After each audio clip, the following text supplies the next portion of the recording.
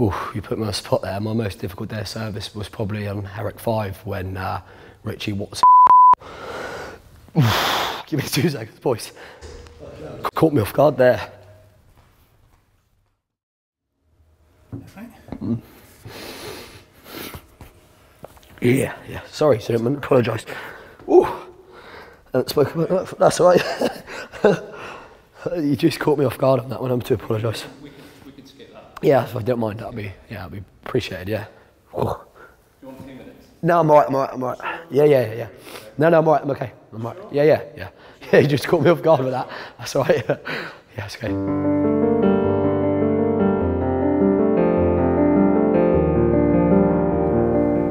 My name is Ben Wadham. I'm a former Royal Marine Commando physical training instructor. Uh, I've served mainly at 42 Commando. I also served at CTC RM, the Commando Training Centre, training recruits in their physical ability to be able to pass out as a Royal Marine.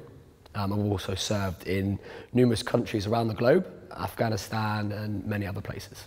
I'll tell you a story when we got back from Afghanistan on Herrick 5. We got locked into a village hall in Cyprus. The guy in the Navy, bless him, stood up and gave a five minute lecture on what post-traumatic stress is. Um, he left, packed up his laptop, and as he left the door, about 25 crates of beer got thrown through the door. We got drunk, and then the next morning woke up. We spent half an hour on the beach, and then we flew home that afternoon, and that that was it. And I think you know I was a severely troubled young man for a few years, for a long time actually.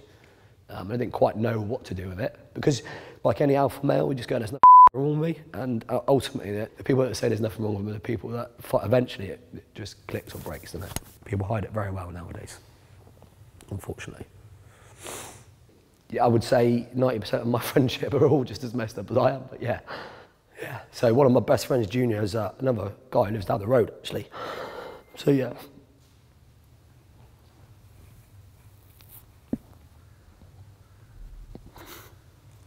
Oh, sorry, guys.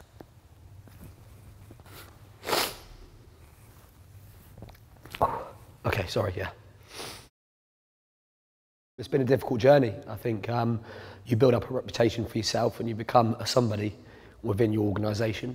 And for myself, I was a physical training instructor, and you become sort of like an influential figure on, on camp. You walk around in your white PT vest, and you automatically um, have that respect of the men just purely on the basis of what they know you've done. Um, and I think leaving the military and then going into the uh, the real world, um, it doesn't matter, and you have to re-establish who you are and what you're about. And it took me a long time to sort of find my uh, place in the world. The transition's been really difficult. I get support through Rock to Recovery, so I do check in with those guys once every month, um, and I've done that now for a long time. And I think without those those guys, it's, uh, they're a lifesaver, yeah, genuinely a lifesaver. So I think I've, I've never had one text from anybody since I've left the service, from the service, asking me if I'm okay, which is slightly frustrating, isn't it?